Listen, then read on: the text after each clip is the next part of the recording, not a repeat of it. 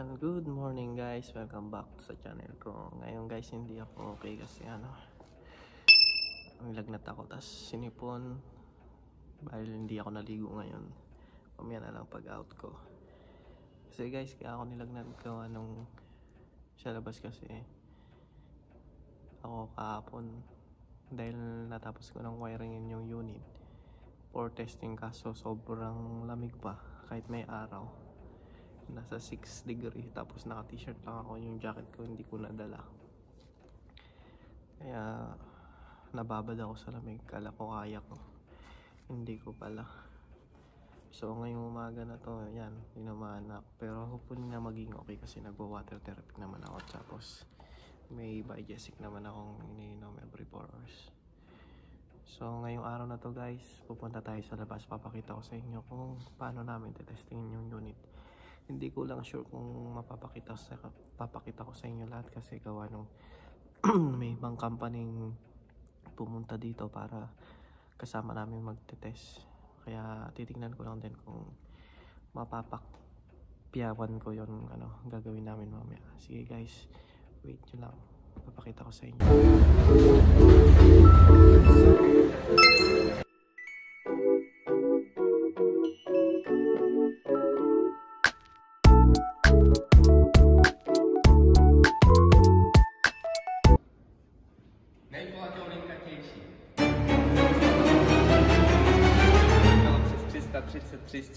Střech.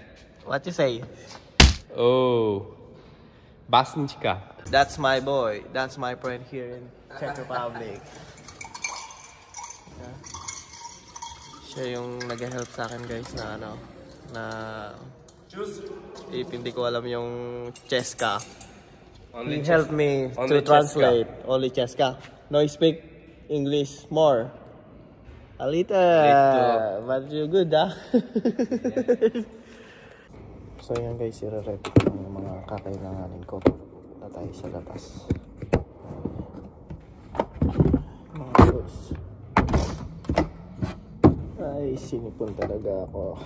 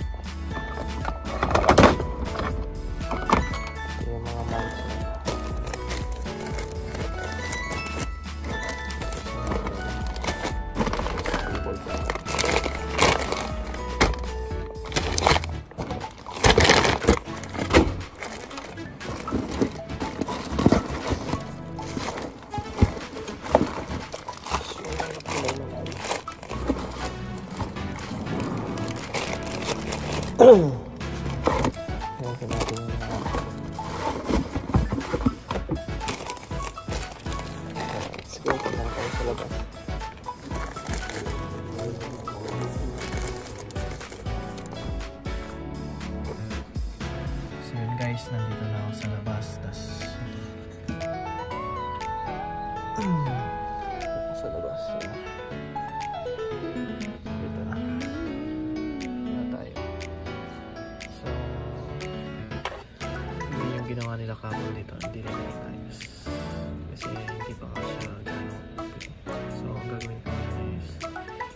ayusin natin mga to.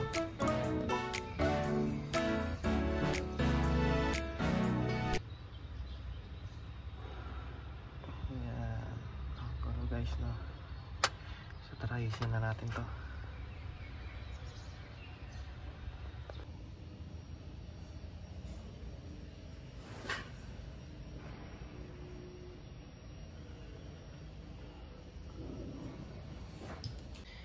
naka-ready na yung mga gagamitin ko yung heat gun, yung soldering iron tapos yung lead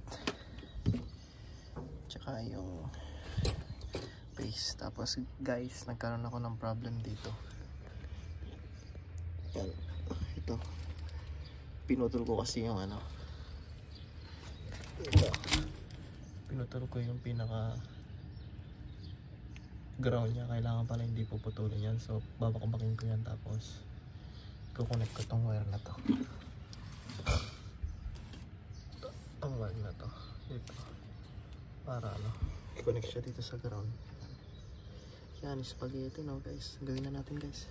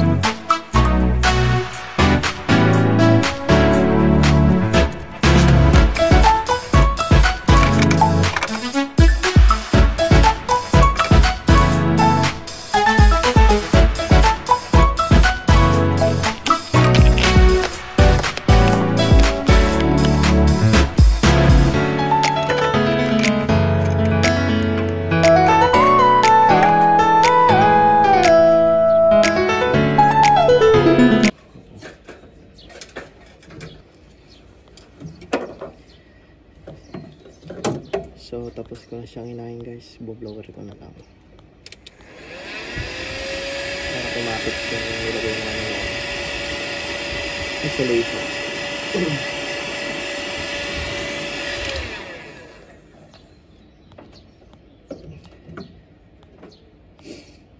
Tapos guys, ito yung nasa unit to.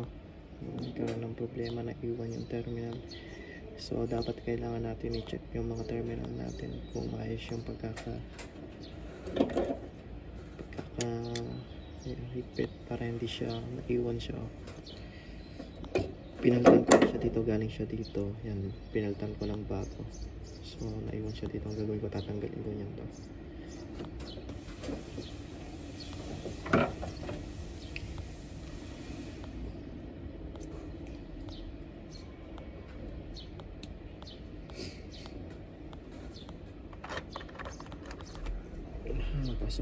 Isa tapos ay matanggal matanggal guys ah.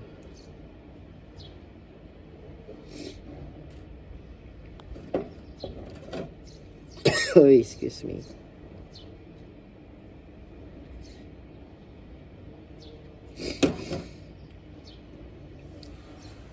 Yan matanggal push mo lang pala So ayan guys, uh, natanggal ko na siya tapos ibabalik ko na siya dito sa dati na. Ito. Ito.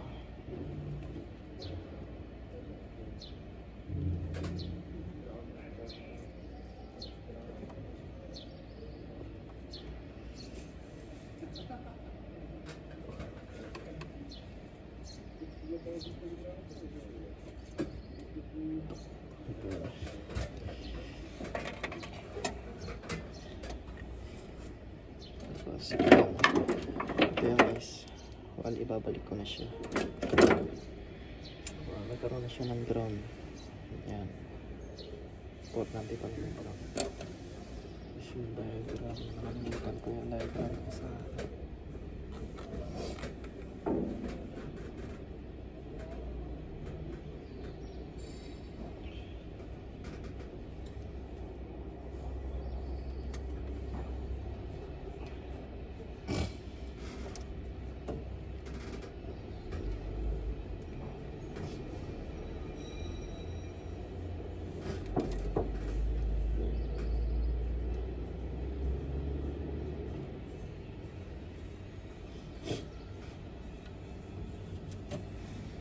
Pakuha ko muna guys yung diagram sa kasama ko. Baka malito ako, magkamali pa ako.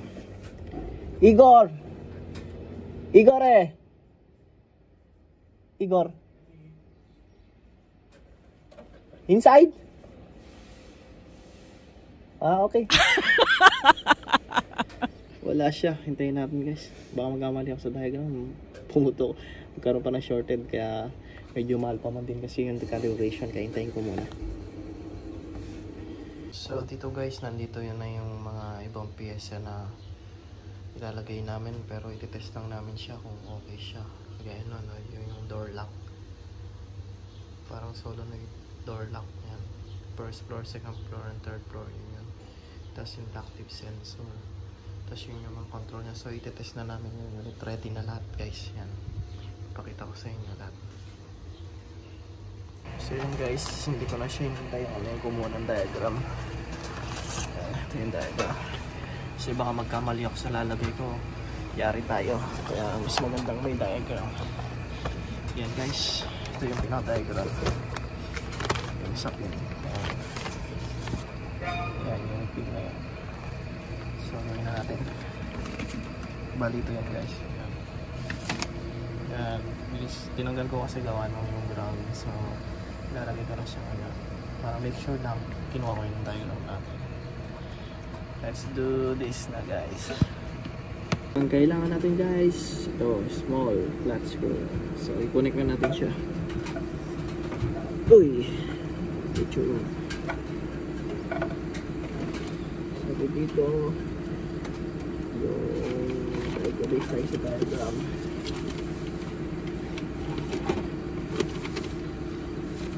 Dito yung 22 is yellow.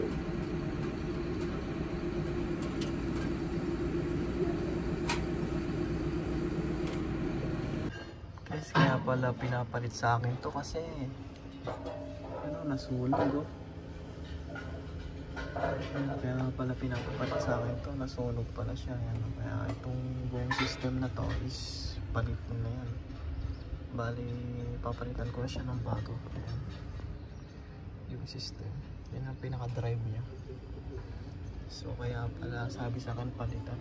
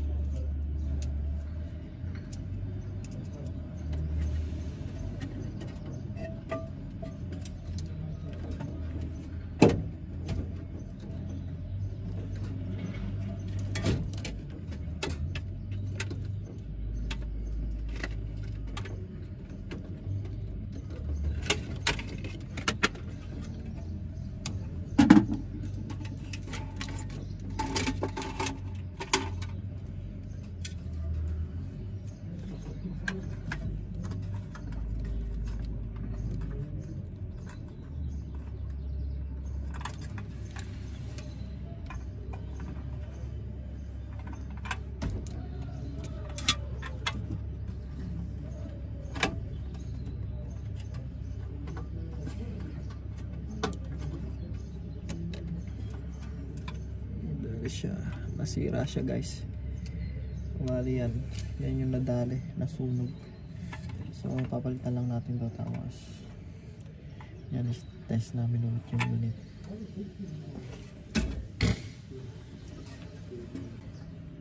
So guys, ito na yung bago. Yan, hopefully na hindi na siya masusunog ulit. I-install natin siya dito ngayon. Yan, install na natin siya ulit. Ano nga guys, nilagay ko na yan. Ayan, install na natin siya. Ayan. So yan guys, nilagay ko na siya. Pinahirapan ako dito. Ano, binarena ko pa yung mga yan para pumasok siya. Ang hirap dito. Ayan. Ah, yun guys, lagay ko na, install ko na siya. Nahihirapan ako nito ah. po ayaw po pumasok na mga washer yata. Ito yung mga nuts yata. Puma pumasok naman sana. Yun, pumasok naman. Yung mga nuts, hindi pumapasok yung mga washer. Patay.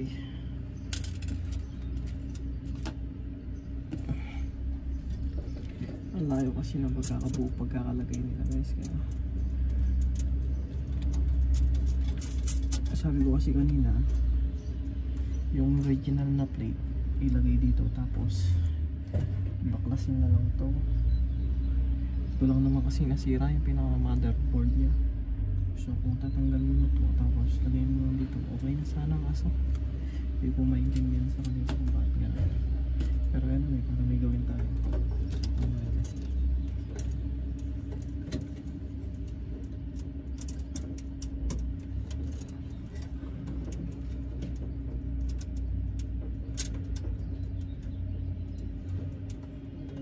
mga ngawit ka sa paglalagay ng mga tornilyo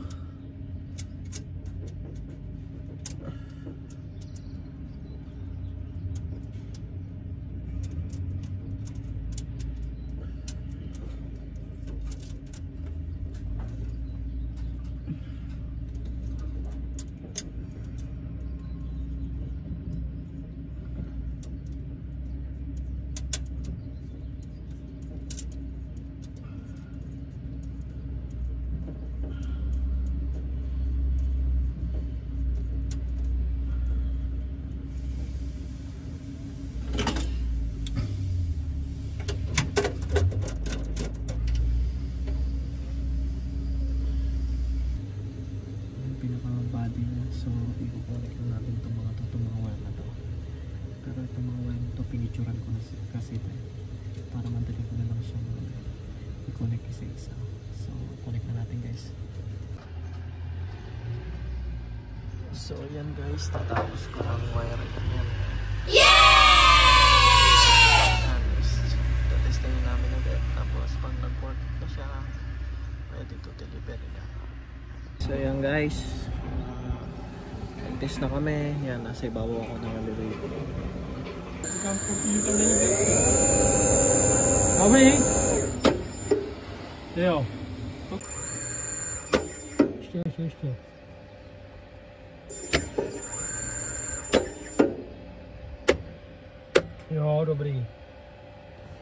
Ulož.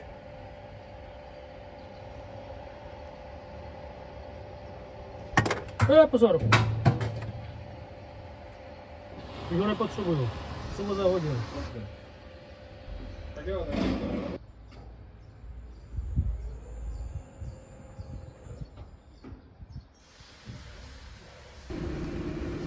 So, yan guys. Tapos na ulit yung duty natin ngayon. Tapos ko na yung mga wiring. Na-test na rin siya. Ah, pumasa na siya sa ano, quality control. Kinalibrate na rin ang kasama ko. So, pinandar namin kanina. Work it good. Kaya, wala nang problema. Kaya, lahat okay. Next video guys. Update ko.